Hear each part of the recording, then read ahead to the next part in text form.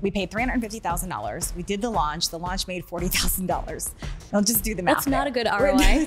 Not a In case good anyone ROI. isn't a numbers person. You have this voice just telling you what a loser you are. What's wrong with you? You're 35, you're overweight. Why are you getting a divorce? Is that where we end up? Is this all there is? You did go on to build a multi-million dollar business, this huge community. Why was I having somebody else try to be my voice? Mm-hmm. Because I was told I should?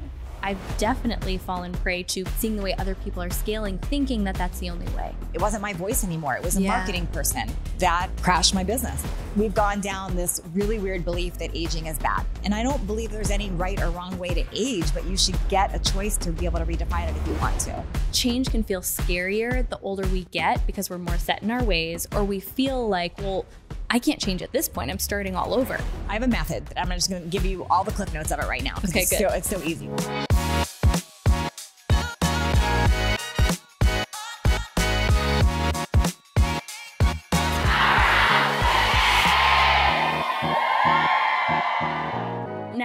Jill, welcome to Powerhouse Women. I'm can't wait to chat with you. I always love talking to you. I know. Well, it's so fun. We got to connect now because you just moved to my Mhm. neck of the woods to Phoenix, which kind of fits in this whole theme that I want to talk about because you had a lot of transitions, a lot of pivots in your life, especially in the last couple of years. And for anyone who can relate to that, just the feeling of being within a Yeah. pivot, I know there's so much wisdom you can share. It's interesting when people ask what I do. Um, I used to say I kill fat for a living, which I still can help with that. You but- still do. But I, but really, what I do is I help redefine aging. And part of redefining aging is embracing change, and it's Mhm. stepping into change and deciding to change, and all of those things that we did when we were younger. With we had no responsibilities, and we tend to forget them as we age. So, helping women do that helps them bring back their power. Yeah. Which I'm thinking about this. You are my first podcast interview since I entered a new decade. I turned 40 a couple of weeks Yes. ago. And part of the reason why I've been loving your content for a few years, but I remember connecting with you way back when you were publishing your first, like your major publishing deal, the first like My major first book, book. that you did. So take us back to like that time period and what has transpired since then? Because you built a really, really successful community when Facebook was a big thing. Yeah. So how has that evolved? Because it's so different now. It's actually interesting because I built it before Facebook was a big thing and it became a big thing, which is wild. Oh. And what I found over the years is whenever I share my authentic self and what I'm actually navigating and walking through, not doing the structured, what's my business plan? What's my grand idea? When I just actually share what I'm walking through authentically, I tend to create a loyal following that wants to learn and evolve with me. Mhm. And when my brand first started, when you met me in my original days, that also started by accident. I was Yeah. walking through my own transformation, my own journey. And I started sharing what I was walking through from a place of power. I've never shared as a, woe is me, I'm down on my luck. More, Right. this is where I am. This is what I'm figuring out. This is what I'm learning. And it tends to build community when I do that. Yeah, and we we sat down over lunch a couple of Mm-hmm. weeks ago and we were talking about that how both of us have these businesses where when we try to follow the conventional wisdom, it's not like it doesn't work because we know it works for other people, but how much has that played a role in your journey being able to just Mhm. be your authentic self whether it's the way people say you're supposed to build a business or Yeah. not? It's so funny that you asked that because I actually fight it every time. Every Yeah, time there's same. something in me that I'm like, this is really who I am. This is what I need to share. This is what I want to share. I'm like, but you can't share that. You that's not what you should be sharing. And I try to follow a business practice or what I'm told to do. It's not that it doesn't work. It works. It just doesn't work at the level of Yeah. when I do me, when Yeah. I'm really truly authentically me. And I've learned that. And it's happened so many times in my business career where I accidentally get successful when I'm truly being myself. And when I try to follow a plan, it feels like I'm trudging up a hill with cement. It's like it just Mm. feels a lot harder. Mm, And I've told women, I've told men, I've told countless people in business to bring back their authentic self. And I don't know that they fully understand what that means. But if we can really tap into who that is for us, it is what makes us unique. It is what makes us stand out as a leader.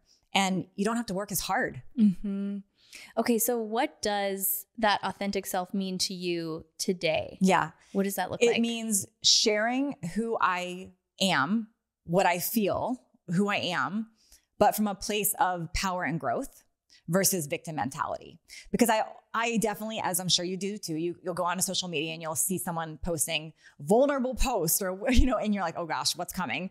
Or you see the, the crying and the tears and the, and the drama. And that's not what I mean by this. Mm-hmm. Um, there's a difference between victim mentality and sharing down on your luck or this is awful and this is going on wrong in my life. That's very different than this is what I'm walking through and this is what I'm learning. Mm-hmm. Mm-hmm. People So are interested true. in the latter. They're not interested in the first. And for for me as an observer, there's an energy. There's just an air of authenticity that you can't even really put your finger on and and you can feel it when it is coming from that really authentic place. So take us back to the Mhm. very beginning when you were accidentally Yeah. forming this community by sharing your own struggles. Tell us a little bit about Yeah. that season cuz then we're going to talk about the pivot that you made Totally. Which is even an even cooler part of the Yeah, story. Yeah, it's such a funny story to think back. So I was working in corporate America. I was a salesperson at heart. I mean, really, that's what I do. I help connect with people and figure out what problem they have and help, help them solve it. That's what I love to do by nature. And I was living what anyone from the outside would have looked at as this perfect life. I, I did all the things on the checklist. I went to college. I got the corporate job. I got married. I had the two dogs and the baby on the way. And what people didn't know about me is I was truly dying on the inside. I looked like I was having it all together, but I was actually really sad and depressed. I was 35 years old at the time, which is a long time ago now for me, uh, but not for a lot of your listeners. But I felt really sad and depressed because I knew I was supposed to be happy with the way that my life was, and I just wasn't. And just to explain what was going on in the world, it was 2007, 2008. The financial market had crashed, our, our economy was a wreck. I had just had my daughter and I had gained 60 pounds. Now, some of you can see me on video, some of you can't, but I, I'm five foot two. So 60 pounds was a lot of McDonald's and French fries and hot fudge sundaes. I was overweight. I was having a baby. I was losing my house and I was getting a divorce. And I felt super, super inauthentic at the time because I remember thinking this is embarrassing. No one else can know what I'm navigating. They see Mm. this perfect life and I need to keep that up. That was the conversation in my head. yeah. And it turned into a full depression when I had my daughter, the kind of ugly depression. And some of your listeners might be walking through this now where I just didn't want to get out of bed. I didn't want to do anything. And the only reason I honestly got up each day was for my daughter. Mhm.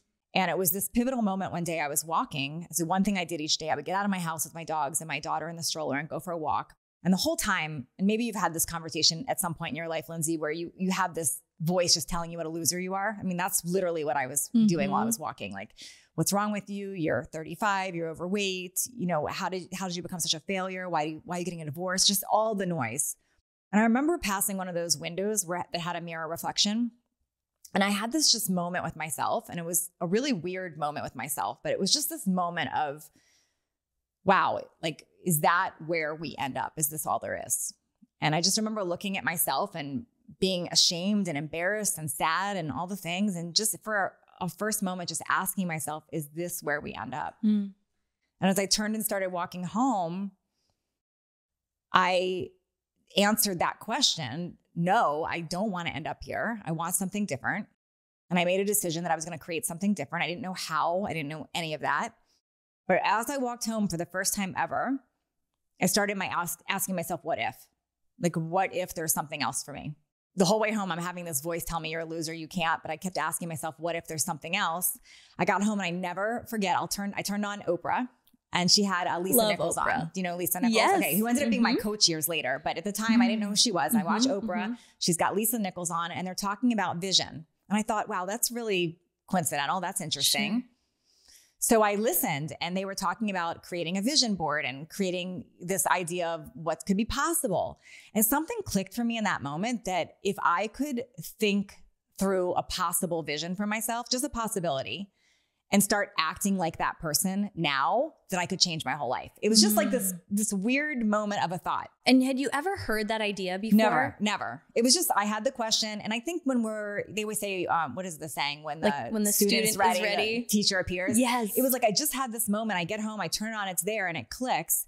And I have that quick start personality. So when I actually get an idea, I want to run with it. So I'll never forget. I, I went to Facebook, and Facebook. You said big Facebook. It wasn't big at the time. Okay. I mean, I had like my hundred high school friends. Yeah. So I go onto Facebook with my 100 high school friends and I say, okay, confession time. I'm not happy. Like, this is where I am in my life, but I'm going to turn it all around and I'm going to start sharing my food here, what I eat each day for accountability. That's what I did. That's mm literally how I started. And what's interesting is I made that vision board I'm talking about, which now I call a decision board, but I would stare at it every single day and say, okay, Natalie, if you're the girl living in that board, if you're the fit girl, the healthy girl, the financially free girl, the happy mom, the happy, if you're all these things, what would you need to do right now, here, today? Mm. How would you have to act? And I decided that food was one of those things. I needed to start eating different. So I started sharing it on Facebook. And because I shared from that place, like I mentioned earlier, it's not, um, what was me? I'm so sad, you know, help me everyone. Cause then everyone just says, Oh, I'm sorry. You're right. That sucks. Send yeah. me prayers. So like doesn't help me. Mm-hmm. but when you say, when I say, this is what I'm doing for my own accountability, people start rooting for you and they start following along. So my whole business accidentally started that way because I was sharing from a place of vulnerability and what I was going to do about it. And I was sharing my meals. I was like the original what I eat post. What yeah, I eat right. Poster. Back when that was such a thing. Yeah, but people started following and yeah. they they liked it and they saw me start to transform. And I'm skipping a lot of steps here, but as yes. I got fit, yeah. my sales hat kicks in. You know, because people are like, "Well, what are you doing? What are you eating?" So I built my very first program, which was seven day jumpstart. I did it in a weekend. I didn't proofread it. I didn't overthink it. I didn't have a business plan. I just wrote it on my Blackberry phone. Stop. You yeah, wrote it Blackberry on a Blackberry phone. Yep. That was my first program. Wow. Uh, that program turned into multiple millions of dollars. It yeah. launched my whole business. Yeah. And again, I'm skipping a lot of steps and there's some years in between. There's this, right. but really in the grand scheme, that's what happened. I mean, yeah. if I look back, that's what happened. That was my business. I shared, I taught, I w- shared what I was walking through, what I was learning. People wanted mm-hmm. to learn, mm-hmm. and I answered a problem for them. Yeah. Okay. I want to dissect this a little bit because what's so powerful about your story is something where I think people intending to have similar results maybe go wrong. Yeah. Because you had the humility to just be in the journey yourself. You actually weren't trying yes. to be the expert or the guru yet. And that's a that's fine right. line.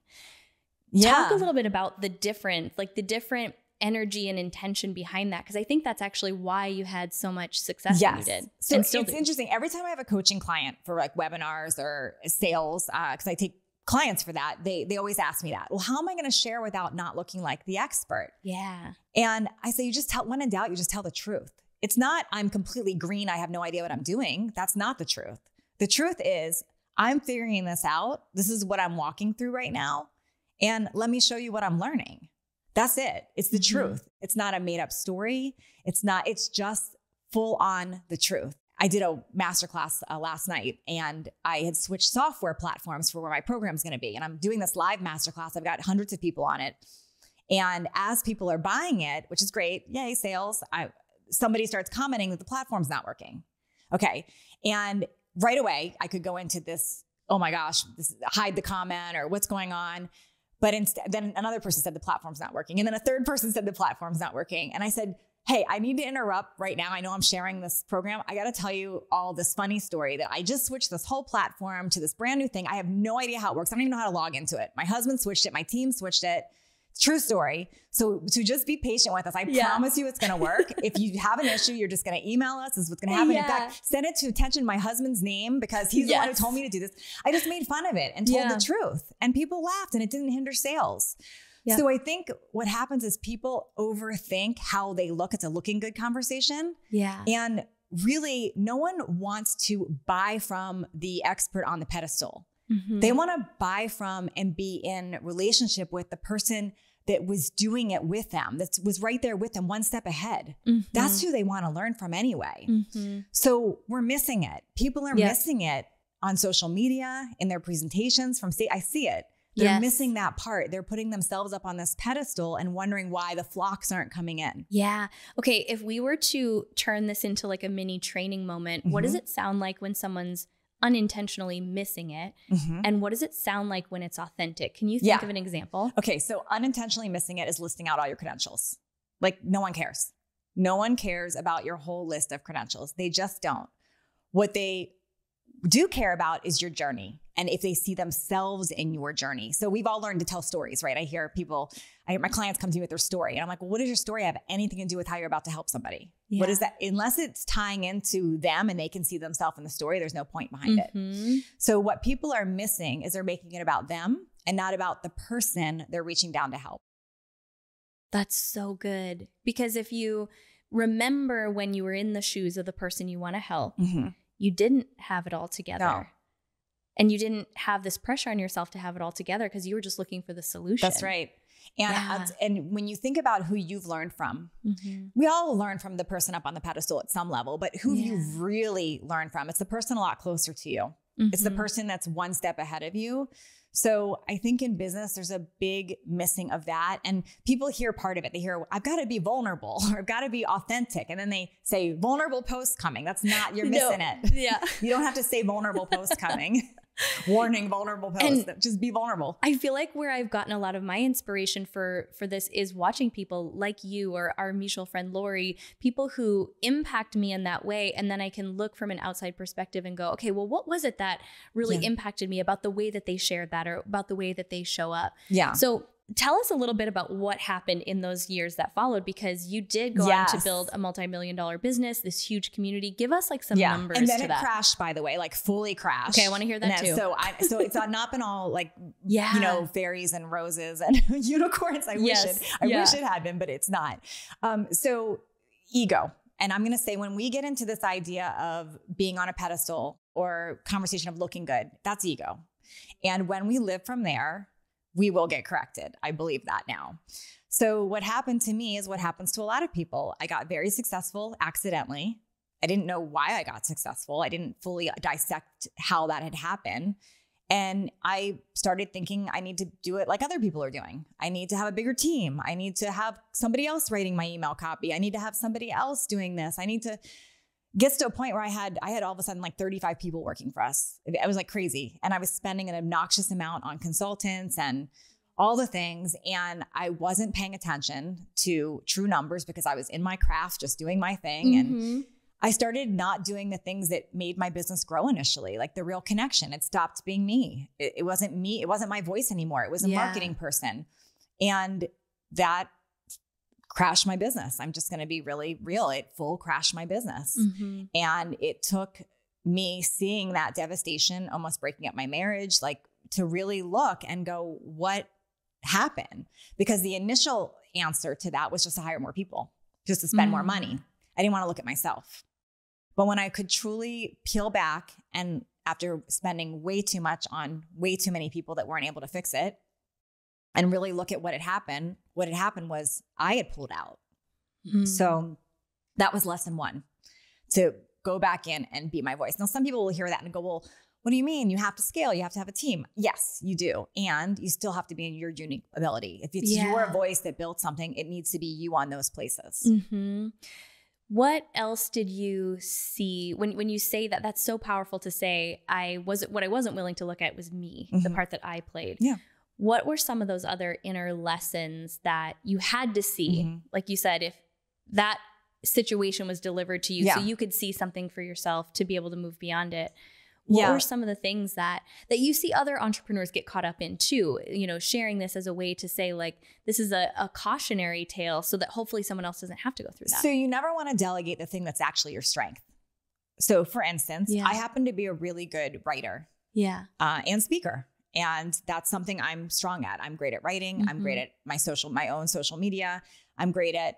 So why was I having somebody else try to be my voice? Because I was told I should. Because I'm supposed to scale. Because I'm supposed to delegate. Mhm. That's not the things to delegate. The things to delegate are the things that are getting in the way of you doing your unique ability.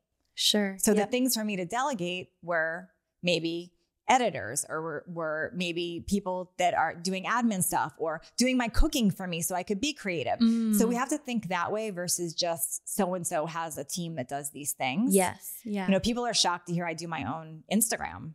But why? That's that's my strength. So why would Mhm. I have somebody else do that for me? If it wasn't my strength, I would. yeah. So it's looking individually at your own strengths and saying, this is where I'm actually strong. It might not be what you love Mhm. doing, but the thing you're actually strong at, you've got to keep that. Mm. And what's really wild, Lindsey, is I've so many entrepreneurs that I know that have big platforms. It is them doing their own social. Yeah. Every time I hear that, I've when we talked about this, I've heard other bigger names with much bigger followings than than I have currently Mm-hmm. Yeah. talk about that. And it was the ultimate permission because I have I've definitely fallen prey to being in masterminds Yeah. and seeing the way other people are scaling, right. thinking that that's the only way. And that's what I was doing too, Mhm. um, especially with email copy. Like I thought I have to have cop. I spent more money on copywriters. They don't have my It is voice. It's expensive. And then, Yeah. but then you think, okay, well, I don't want to sit down and write. So easy, record an audio with what you want and then have someone turn that into a message. It's still your voice. So there's lots of Yeah. workarounds with that. Also, a big wake up call for me was I'm strong at sales. That's my gift. That's what I did in corporate. That's how I built my business. That's what I'm good at. So why am I spending all this money on marketers to try Mm. to sell when I can just do it myself? Mhm. So, one example of that, um, a lot of people use affiliates for their programs, a lot of them. And I don't like that model because I think it doesn't, it's very hard to convert on email copy. I want to be on, I want to talk to people. I want to be there. I'm Mhm, strong at master mhm. classes and I'm strong on interviews, things like that. So, why not? Have affiliates bring people to a class that I teach, things like that, like tweaks like that. So, looking at your own unique ability and say, how do I take what I'm strong at and make this work in my business? Mhm. and then delegate the stuff that's in my way. Even if this is the stupid stuff that you think you should just do yourself. If it's in your way of spending time on your unique ability, get rid of that. Yeah. Whew. Okay. So this is already is so valuable and so much of what I also needed to be reminded of. But I, I want to go back now to this. When was the moment that you Mhm. realized it had, in your words, you said it kind of crashed your whole business. Oh yeah. And now you have this huge team on your payroll. Take us back to that moment. what was your next step? Okay, so the fight, and I'm gonna I'm gonna give you real numbers here. I was so convinced that I was gonna turn this business around with marketers and the right Mm. consultants. I hired a team for three hundred and fifty thousand dollars for ninety days. Three hundred. I just want to think about that. Entrepreneurs listening, three hundred and fifty thousand dollars for ninety days. That was going to turn around and do this launch for me. They had it all, and I, my husband and I were fighting the whole time. This is right before he left my business. He's like, "This is ridiculous." He was telling me, "You're in your ego. This is this is not working." Wow, he was yeah. so stressed out. I was, I, and I was telling him he was doubting. You're doubting my talent, my, you know, but my talent was not running a business. My talent was just doing what I do in the business. So um, we paid three hundred and fifty thousand dollars. We did the launch. The launch made forty thousand dollars. I'll just do the math. That's not there. a good ROI. not a In case good anyone ROI. isn't a math, a numbers person. And we're already in like the red on, on my business. And I'm thinking, okay, this is really not working. this is finally, I really need to face the music here. My husband's Wow. mad at me. This is a whole thing. So now this is, I have to really look at this. So I start looking at the numbers and I start getting really sick looking at this. Cause I had a lot of us also say, I'm not good at numbers. I'm not a numbers person. I don't, no, I look at the numbers now. I look at everything. I'm very aware of the numbers in my business now. That's an exact example of something you cannot delegate out. You have to look at numbers. Mhm. Someone else can do them, but you have to look at them as the business owner. Right. So I started downsizing right away, got rid of my team, started doing taking back things. My husband left my business and I was there to figure some stuff out on my own.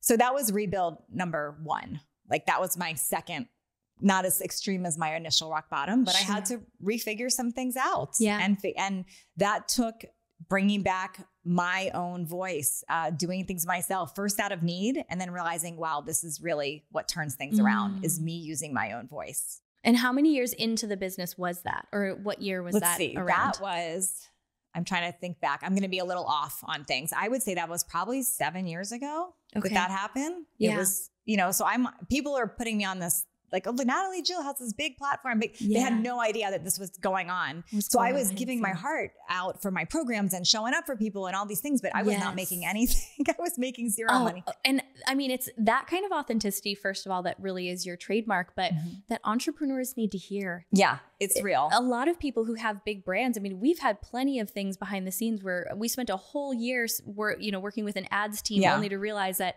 it brought in nothing. So Right. we all go through these Oh, we do. and and they're the times that because maybe you don't hear as many people talking about them you wonder like am i a terrible entrepreneur am i not cut oh, out to do this Of course. should i just hang it up so okay that was me I had many of those conversations. i'm so glad that i'm not the only one No. major pivot number one where you had to Yes. out of necessity and then you get to this point. I've heard you talk about this on your show Mhm. just a couple of years ago, Yes. where you realize it was time for something else Yeah. to shift. So I turned my business around and Yeah. it, it I got it back somewhat. Like to at least it was I definitely was not in the red and I was doing okay. I was doing Yeah. well again and I was building.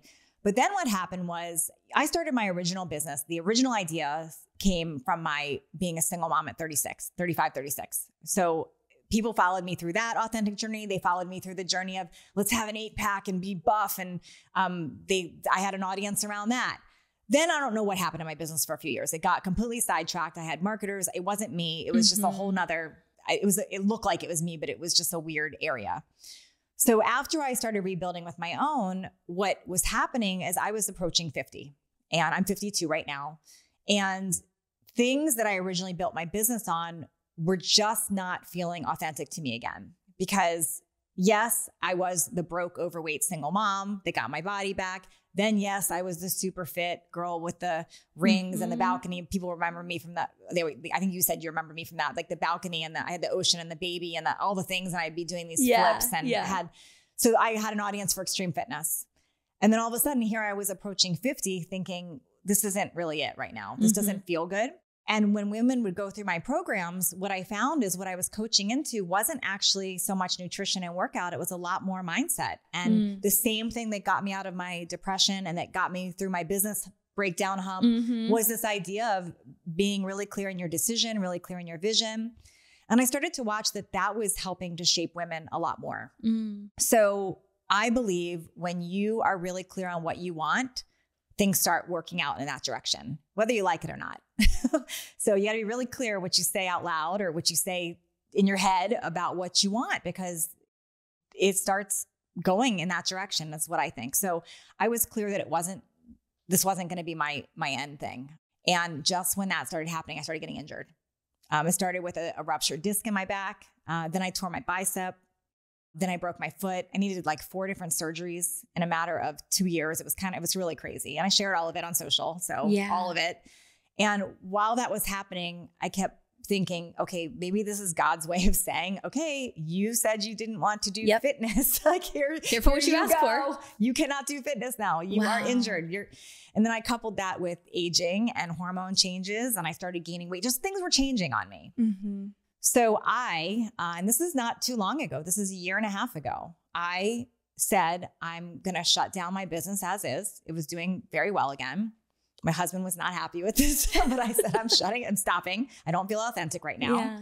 I stopped all of my programs. In fact, I sent an email to my list, my large list of all customers and clients, and said, Hey, I'm not doing for the first time ever this year a fat loss live program. Go to my friends. And I sent to somebody else. It's like if you literally stop doing Yeah. Powerhouse Women and we're like, go to so and so's. Yeah. It's just like all your hard work. You're like, go Yep. here. And it felt freeing and it felt scary and all the things, but I needed to do that. And I went into a little bit of a tunnel just learning more about midlife. Um, do change my podcast to midlife conversations, started interviewing people on the topics, started navigating things with my own body, figuring out what's happening with hormones, what's happening with my gut health, why, why was I getting injured? Does my method still work for this? Um, where do I fit in with workouts and nutrition? Where do I stand? Yeah. And through that journey, it was amazing what happened. It it reminded me of what happened at age 35. Yeah. People followed on the journey. Yeah. My social media doubled. My podcast downloads tripled. It was wild. People followed that journey. Mm. So it reminded me once again how being true to your authentic self and sharing your journey is what builds community. hmm What do you say to someone who's listening to this and is feeling that tug to make Mhm. a pivot, but is afraid of what they're Yeah. giving up? Then dabble with it. That's a, dabble that's with great. it. Because here's the thing, I when I said I'm leaving fitness, I didn't say forever. In fact, I'm Yeah. launching another fitness and fat loss program right now. I'm back. Do I'm clear now. Yeah. But I was very real that right now I can't do this. Yeah. Right now this is not happening. But you can dabble. I while I did made that decision, I still took some brand deals. I still Mm-hmm. did some other things with fitness. I I just didn't do my own thing right then. Mhm. So if it doesn't Mhm. feel good to you, you know, maybe it's just you cut back in one area to focus on that other area. yeah.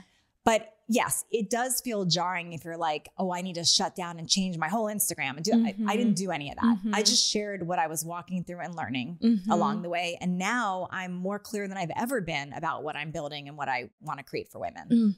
And what I observe from you and now getting to know you is the authenticity is there because you are genuinely really interested. You're learning things right, right. along with your audience. And there's no time in life when I think there's less information available, especially for women who want to age in a certain way and don't want to feel You the way we've been told that we have to feel.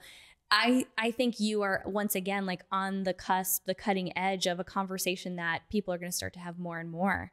I, I I feel that. I Yeah. I was I thought if I'm walking through this and wanting to understand this, then somebody else needs to. And what this is what's really funny. I wanted to build a new website. So I had my nataliejill.com, but I wanted to build midlifeconversations.com. And everyone said they didn't like the name. I'm like, I don't, I'm not going off of a marketing thing. I just want to call it's midlife conversations. So that's what I'm calling it. So I called it that. And I had my my girl that does my web stuff. I was like, put some pictures of midlife women. And she could not find anything that didn't look like old and ancient. And Like I'm the Golden Girls. like what is this? Why why are we not representing? Come on this is not good.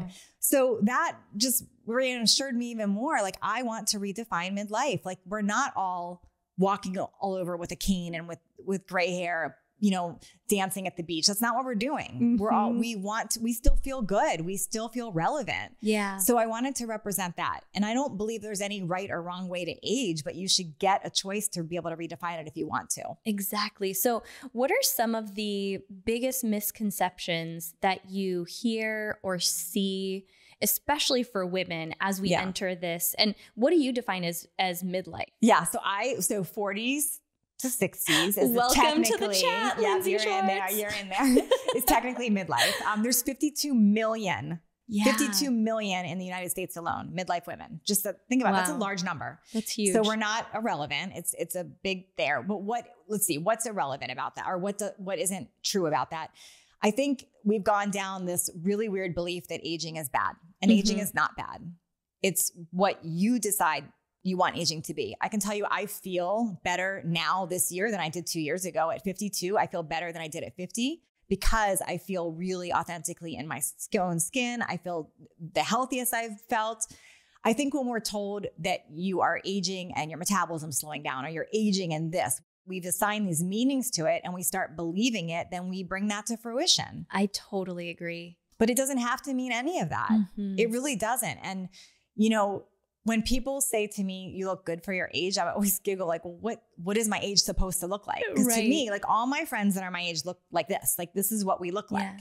So it has nothing to do, honestly, with just what you want to look like or what you look like. But let's just think about what we've made aging to mean. Mhm. And there's no right or wrong way. It's truly what you decide. And honestly, I believe, I know I'm just getting started right now at 52. I have a lot of plans, a lot of ideas, a lot of things that I want to build. I've got lots of friends that are in their 60s that are still creating and building and doing amazing things. Mhm. So you're not too old and it's not too late. And I think that's the, the biggest thing we've got to break up. Yeah.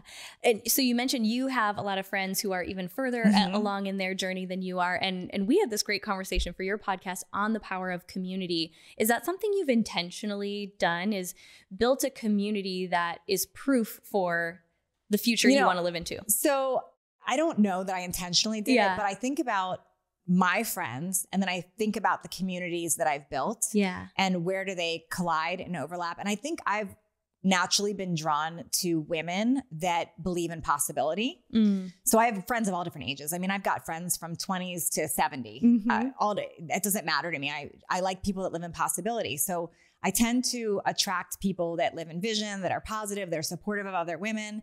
And what I'm learning is I shared earlier about being that one step ahead of whoever you're teaching. Um, I think the people that come into my programs, they like that next step. They want that.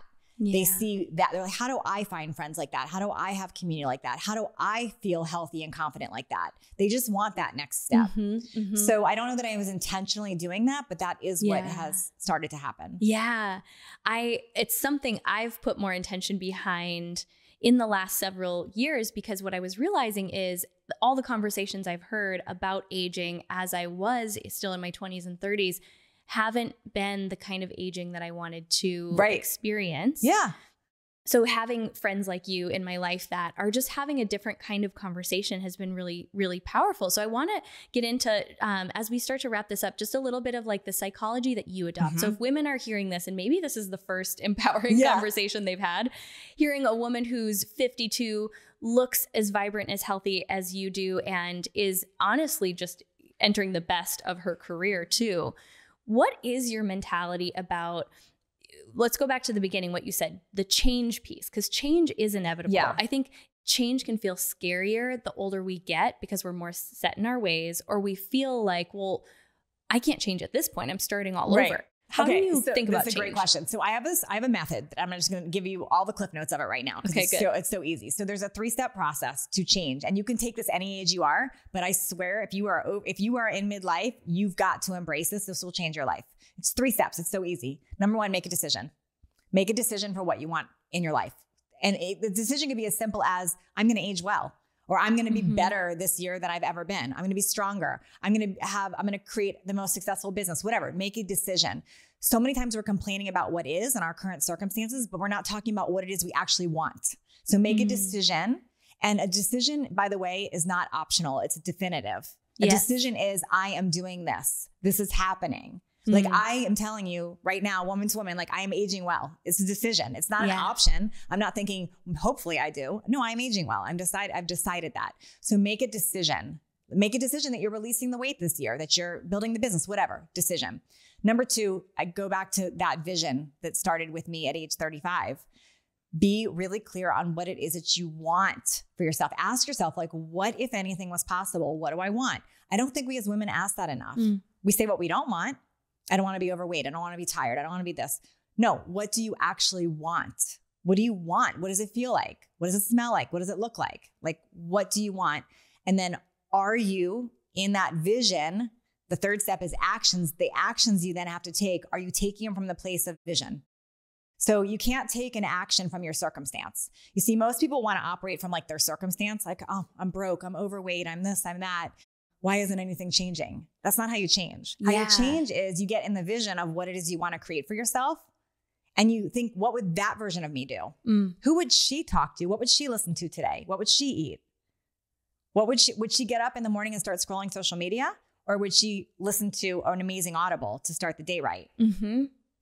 what would she do it's so simple and when you're starting to make those changes it feels like pushing a boulder mm-hmm. uphill it can or it can be really fun so That's again, true. it's another decision. Making the decision. Yeah. That's so, so, so we make decisions all day long. And you know how yeah. I know? I can tell you anyone's decisions because it shows up on their body, it shows up in their bank account, it shows up in their house. Your decisions are not hiding from anyone because we're all a result Damn. of our decisions and you're making them all day long. So for anyone listening that's challenging me right now, or maybe I'm triggering you a little bit, which is good. That means I'm, I'm hitting something, but just make a new decision. Like just decide that yep. you can, that's the cool thing. You can, I, I just recently moved from San Diego to Arizona and I'm, I'm just to be real, Lindsey, I know you love it here. I, am trying to figure out if I really miss San Diego. Like it's not yeah. very green. But, but my point is when we were deciding to move here, we decided and I had that thought, what if I hate it? Well, I can make a new decision. like you can always make a new decision. But I also know that I'm here at least for the next year for sure. Yeah. And I'll probably be here. My my husband really loves it here. I'll probably be here longer. But my so every day I, I, say, what's my decision? Is my decision to complain about it or to find things I love? Yeah. And I do I find I've found a lot of things I love here.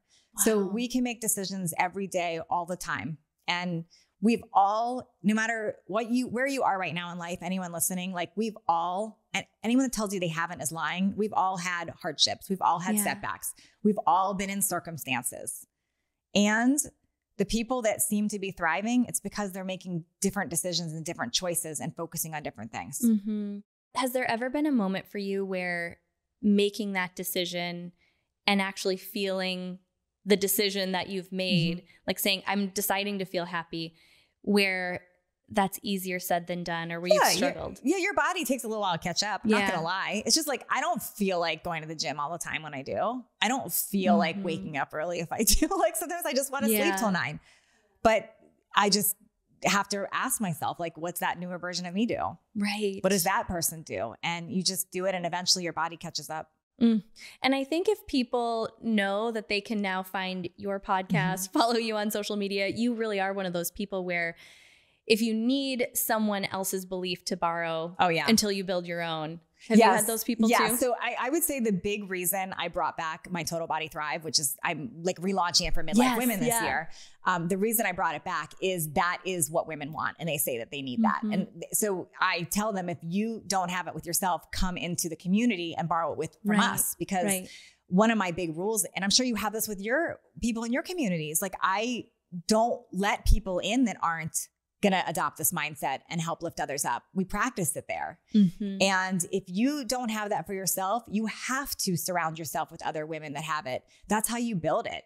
I'll tell you, Lindsey, I am not harsh about it either. I collect people in my life. I used to think I'm an introvert. I'm not. I'm- I know I'm pretty extroverted now. I'm pretty convinced.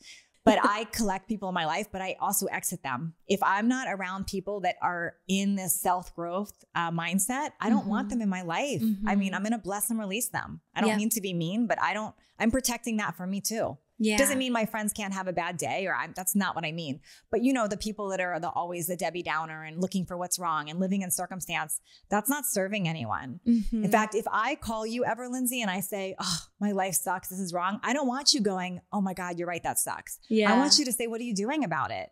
That's what I want. That's what real empowering women do. That's so good. Okay, so that was kind of a good segue to talk a little bit about where people can find your podcast, Yeah. what else you have for people going on this year because you know whether you find yourself in in midlife along with the both of us now or whether you are someone who who wants to keep building your external circle Totally. of people sharing possibility where is the best place for people great. to find you Uh, my- so my podcast is Midlife Conversations, Yeah. and it's truly just conversations, everything midlife. I mean, I do hormones, I, I do all the things. I share everything.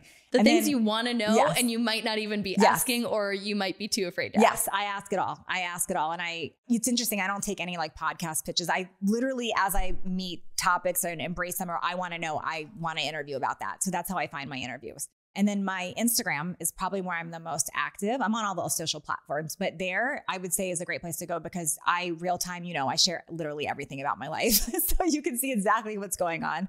And I, whenever I have programs or free classes or any of that, I always share it there. Mm, it's and it's just one of those things where it's that permission to be your authentic self. That's really what you've done for me from afar, but then also getting to know you now as a friend and for as long as I have you in Arizona, Oh, getting to getting to connect. So um, we'll make sure to link all of that in the show Yeah. notes. And there's a question I love to end all of my my guest conversations with, and it's really just an opportunity to acknowledge yourself, which is something I'm constantly practicing, and in especially practicing acknowledging acknowledging myself for things that might even seem small and insignificant. Okay. It can really be anything big or small. We just call it a powerhouse moment. Oh. So, a recent powerhouse moment that you want to celebrate yourself for. So, when I ask the question, like, what is a recent powerhouse moment you've had? What's the first thing that comes to your mind that you want to celebrate? Oh my gosh.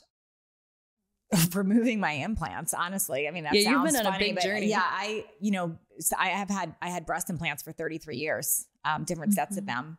Maybe that's not what you were expecting me to say, but being somebody in fitness and fat loss and body image was a big deal to me. So for me to remove those for health reasons and just be okay with whatever comes my way, um, that was a powerful moment. And I've got to share, I was also quite embarrassed that I was going to be doing that. And I ended up sharing it because I share everything. And the amount of women that have thanked me and have told me that I helped them figure something out because of it has really reinforced how important it is for us to be more authentic and share.